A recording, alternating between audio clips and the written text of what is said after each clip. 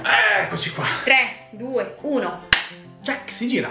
Bentornati sul nostro canale, siamo Francesca e Roberto Sì. e per la nostra rubrica Travel and Geek, Geek.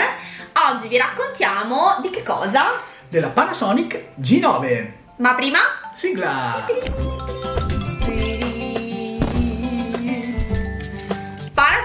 Panasonic, oggi Panasonic, l'ennesima Panasonic, perché quante ne hai provate? Ma ne ho- non, non mi ricordo quante ne ho provate, ne ho provate tante. Devo dire che è un generale, un brand che produce delle ottime macchine fotografiche che mi piacciono tantissimo per varie ragioni. Abbiamo provato cos'è la GX8, la G80, la GH4 e adesso la G9. Le trovate qua e le altre Qua, così. tutte le trovate video recensioni se volete andare ad approfondire. Raccontaci di lei. Oggi vi racconto di lei, della Panasonic G9. La G9 è una mirrorless, è la top di gamma di Panasonic. Tra le caratteristiche tecniche di questa macchina troviamo il monitor smontabile mm, a 360 gradi, caratteristica tipica delle Panasonic in quanto eh, spesso orientate al videomaking.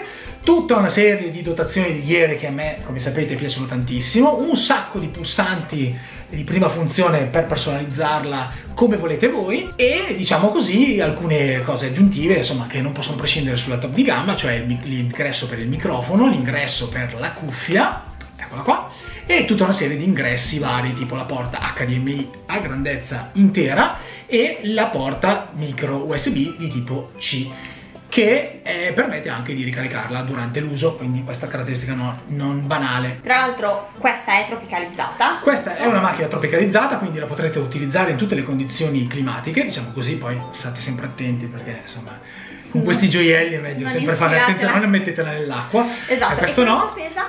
Allora, parecchio. Pesa, pesa, sì, pesa circa un chilo con questo obiettivo che trovate in kit, il 1260, eh, circa 680 grammi invece per il solo corpo e ha un sensore stabilizzato sui 5 assi, quindi anche la stabilizzazione ottica, oltre a quella che potete trovare sugli obiettivi, che può funzionare anche in sincronia e quindi insomma a questa macchina non manca niente, a parte il flash che però diciamo per il target a cui è dedicata forse non è una grave mancanza. Esatto, perché in realtà questo è il modello top, top, top, ma è il modello che costa mm, più o meno 2000 euro. Sì, al momento su, su internet trovate circa 1900 euro, che non è poco, eh? Non è poco, ma soprattutto cosa dovrebbe spingere un fotografo o un amante della fotografia a spendere circa 1000 euro in più, giusto? Rispetto una Rispetto G80. alla, eh, rispetto Eh. alla G80, per esempio, Ecco, citarne una a caso. questa è una domanda Cosa che- ti dà in più? Questa è una domanda che mi sono fatta, una bella domanda in realtà, che è una domanda che mi sono fatto più volte, no? Perché dovrei comprare questo tipo di, di- di apparecchio rispetto magari alla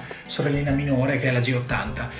Perché ci sono alcune chicche pensate proprio per il fotografo professionista o l'ultraamatore, diciamo così, o veramente l'appassionato che desidera avere quelle caratteristiche che magari sul medio di gamma o il medio alto di gamma non si riescono a trovare. Allora, una prima caratteristica che devo sottolineare è la presenza del doppio slot per le schede SD. Per chi la usa come strumento di lavoro, infatti avere due SD è fondamentale, sai, potrebbe sempre succedere che una scheda SD si bruci. Con questo sistema si ha la possibilità di avere le immagini e i video backuppati sulla seconda scheda in tempo reale, per cui non c'è mai il rischio di perdere il lavoro fatto. Immaginate se dovete fare un servizio fotografico e poi tornate a casa e la scheda è bruciata e non c'è niente. Non potete giustificarlo con il vostro cliente con questa cosa. O tipo un video di viaggio, lo scopri O quando tipo un video di viaggio che scopri di aver cancellato. Ma lì c'era l'errore umano, l'ho fatto io senza, Però- senza volerlo, ogni tanto sono un po' distratto. Questo è sicuramente un elemento che fa pendere la, la bilancia sul fatto di dire vado sul modello più professionale rispetto a uno un po' inferiore. Poi ci sono altre caratteristiche che non sono magari essenziali, ma sono molto comode e che quindi rendono il lavoro del fotografo più semplice. Per esempio, su questa camera in particolare troviamo un secondo monitor qui sopra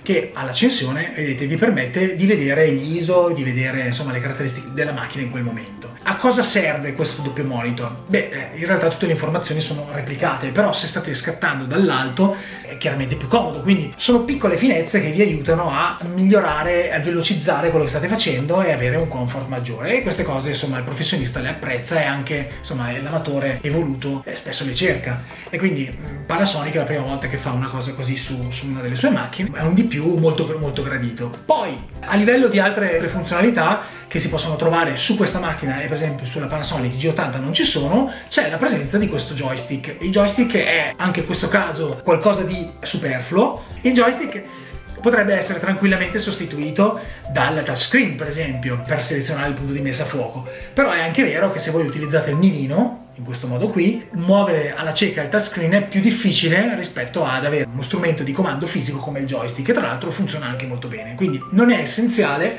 però è qualcosa che sicuramente la differenzia da, da, dalle macchine di categoria inferiore. Altre caratteristiche che sono carine da vedere su questa macchina qua che non ci sono sulle altre è per esempio la possibilità di impostare la visualizzazione del monitor sulla visione notturna, quindi il monitor quando impostate questa, questa modalità diventa tutto rosso, insomma fosfori rossi e a parte vabbè l'effetto un po', fle, un po' flescioso, però è molto comodo se scattate per esempio in notturna, se fate dei safari fotografici notturni, il monitor così in questo modo non vi acceca. Questa è una funzionalità in più che, che esiste. Poi un'altra cosa molto, molto importante, se amate fare per esempio i time lapse, è la possibilità di caricare la macchina direttamente da un caricabatterie esterno, quindi potete attaccare un power bank e aumentare di molto la capacità già notevole di scatti che può fare questa macchina qua. Non l'ho detto prima tra le caratteristiche, lo dico adesso, a livello di numero di scatti che potete fare con una sola carica siamo intorno ai 400-420 se usate, insomma, non usate nessun tipo di risparmio energetico, ma potete, se spegnete lo schermo, se usate con accortezza, arrivare fino a 920 scatti, quindi comunque un giorno o due di sessioni di shooting in caso di mancanza di corrente potete comunque farli. Però in caso per esempio di ci si può attaccare la batteria. Esatto, e... questo è comodo, attaccate il power bank. Sempre in caso di safari, perché vi assicuro che in certe zone non la trovate corrente. E, e okay. questo, questo insomma fa proprio capire come questo sia il target di indirizzo.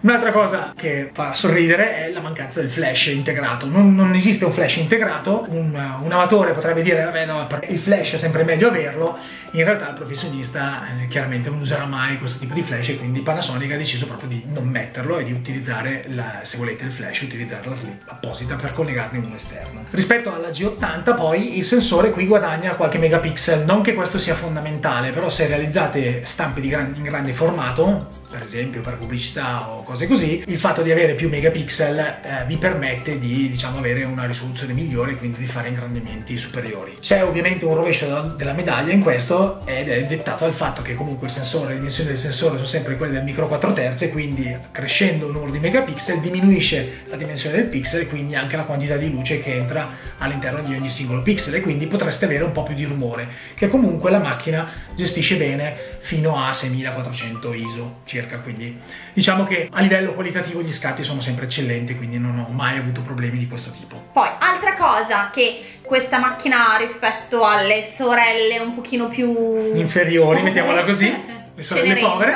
è il fatto di avere una grandissima raffica, è capace infatti di scattare fino a 20 frame per secondo e con un buffer illimitato, per cui veramente qui se volete scattare a soggetti in movimento e fare delle raffiche in continuazione, problemi non ne avete e devo dire è una caratteristica top. Quindi ci hai raccontato un pochino di lei e sì. di quelle che sono le sue caratteristiche diciamo così speciali. Perché lei ha un nome, si chiama Sofia. Sofia.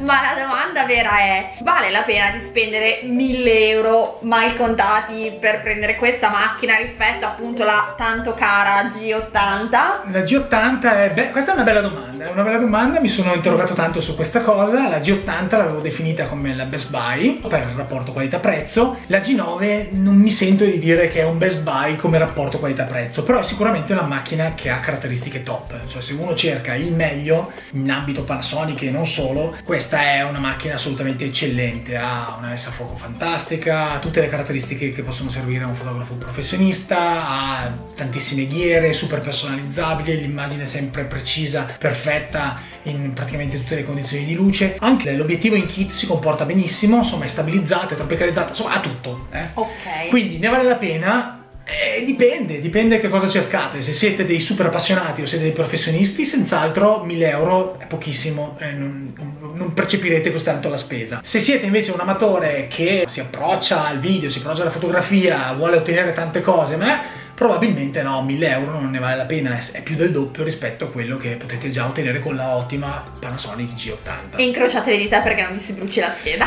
E incrociate dite che sì, al massimo la cambiate. Insomma, diciamo che eh, dipende da che utilizzo ne fate. Ok. È chiaro che per un amatore normale io direi che quell'altra è più che sufficiente. Qui è proprio se volete il top. Ma avrà dei difetti perché? Allora, no- c'è qualche contro. Come la moglie. Come la moglie, sì. Però la moglie si ama, si sposa e la Panasonic è uguale, no? Allora, diciamo che c'è qualche rovescio della medaglia. Questa macchina si tiene bene in mano, un bel corpo così, ma comincia a essere abbastanza voluminosa e pesantuccia anche. Cioè, quindi non è più una macchina mirrorless come eravamo abituati a vederle. Il fatto di avere il sistema mirrorless che ti permette di togliere lo specchio ti permette di fare corpi in macchina più contenuti, più leggeri, eccetera. Questo è ancora vero perché si pesa sicuramente meno ed è sicuramente più compatta rispetto a una reflex tradizionale, però insomma qui arriviamo quasi a un chilo di peso così come la vedete montata, che non sono pochi, alla lunga un po' si fanno sentire. Anche a livello di maneggevolezza, io che ho le mani grandi, la tengo bene in mano, eh. Ci Facciamo- tutte le dita, Fa- facciamo facciamo la differenza. Io, vabbè, sapete che... Ok. Ok, adesso l'hai tenuta fin troppo, adesso dalla me a papino. Allora, eh, quindi sì, al- la tieni bene in mano, è sicuramente confortevole da tenere, però eh, è comunque più ingombrante. Diciamo che non passate inosservati quando girate con una macchina di questo tipo. Ecco, questa cosa qua è una cosa che dovete considerare, nel senso che quando ovviamente si fa, come nel nostro caso, la fotografia, che per noi è un lavoro, ma è un lavoro che viene fatto prevalentemente in viaggio, una macchina di questo genere non è che Può- la metti nella borsetta, esatto. vero, certo. E questa è una cosa. La seconda cosa, qua mi permetto di dirlo io, perché è vero che il fotografo è lui, però capita anche a me di scattare e posso dire che per esempio per me, cioè per la mia costituzione, dopo un po' questa la senti. Nel senso che comunque il peso c'è sia nel peso di scatto del time lapse fatto al volo, sia nel peso invece di, di zaino, insomma, quindi questo sicuramente sì. Sì, poi per un uso da professionista questi sono peanuts, no? Però per un uso amatoriale questo può, può incidere sicuramente. Per cui sì, questi qua sono i principali, diciamo così, difettucci di questa, di questa macchina, che sono, insomma, sono caratteristiche volute probabilmente, non sono Ok. difetti veri e propri. Va bene, allora, abbiamo raccontato di lei, abbiamo raccontato di noi, abbiamo raccontato degli altri, sembra il triangolo no? Sì. Gli altri e le altre le trovate qua. Quindi non ci resta che dirvi se volete saperne di più sulle altre Panasonic che abbiamo testato in questi anni o trovare in descrizione i link o li trovate qua sopra. Se volete saperne di più lasciateci Un commento, commento. è vero? E se E- vi è piaciuto questo video lasciateci un like e iscrivetevi al canale selezionando la campanella così non vi perdete le prossime recensioni. Ciao! Ciao, a presto! Panasonic per tutti!